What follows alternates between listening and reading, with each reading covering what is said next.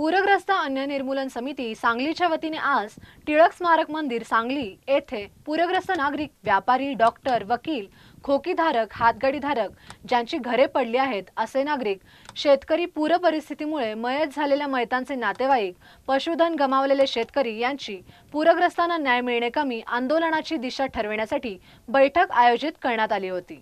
प्रशासनाकडून मिळणाऱ्या मदतीबाबत अस्वस्थता व संताप व्यक्त करण्यात आला. या संदर्भात सोमवार दिनांक तीस सप्टेंबर दोन हजार एकोणीस रोजी बारा वाजता माननीय जिल्हाधिकारी यांना पूरग्रस्ताबाबत शासनाकडून जाहीर केलेल्या शासन निर्णयाची अंमलबजावणी त्वरित करावी यासाठी पूरग्रस्त अन्याय निर्मूलन समितीच्या वतीने निवेदन देण्यात येणार असून मागण्या मान्य न झाल्यास तीव्र आंदोलन छेडण्याचा इशारा देण्यात आला.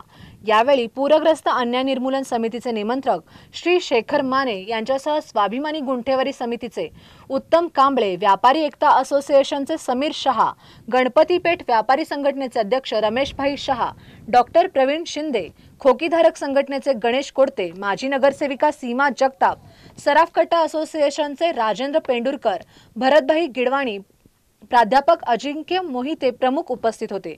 या प्रसंगी बोलताना पूरग्रस्त अन्य निर्मूलन समितीचे निमंत्रक माननीय शेखर माने म्हणाले की सांगलीला बूस्ट करण्यासाठी शासनाने सुमारे दोन हजार कोटी रुपयांचे आर्थिक पॅकेज देण्याची आवश्यकता आहे. सांगली शहर व ग्रामीण परिसरातील पूरग्रस्तांच्या भावना तीव्र आहेत. प्रशासनाविरोधात मोठा असंतोष आहे. व्यापारी शेतकरी पूरग्रस्त मदतीपासून वंचित राहत आहेत. याची दखल त्वरित प्रशासनाने घ्यावी. अन्यथा सांगली शहर व ग्रामीण भागातील पूरग्रस्त नागरिकांच्या असंतोषाचा भडका उडवण्यास वेळ लागणार नाही. पूरग्रस्तांच्या न्याय हक्कासाठी शेवटपर्यंत लढणार असल्याचे शेखर माने यांनी सांगितले.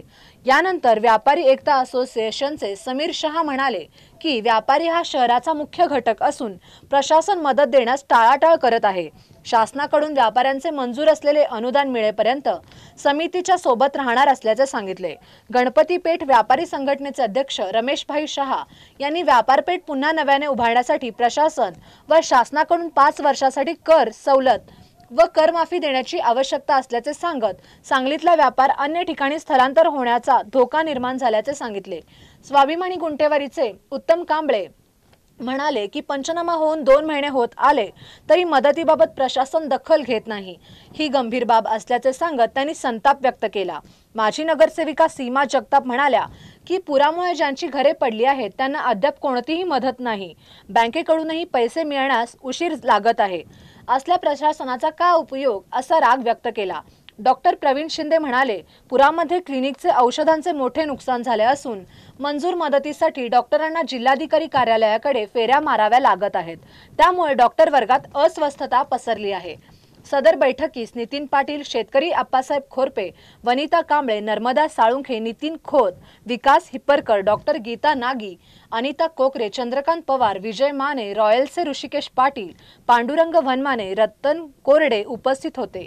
यावेळी प्रल्हाद मलमे सर यांनी स्वागत करून आभार प्रदीप कांबळे यांनी मानले.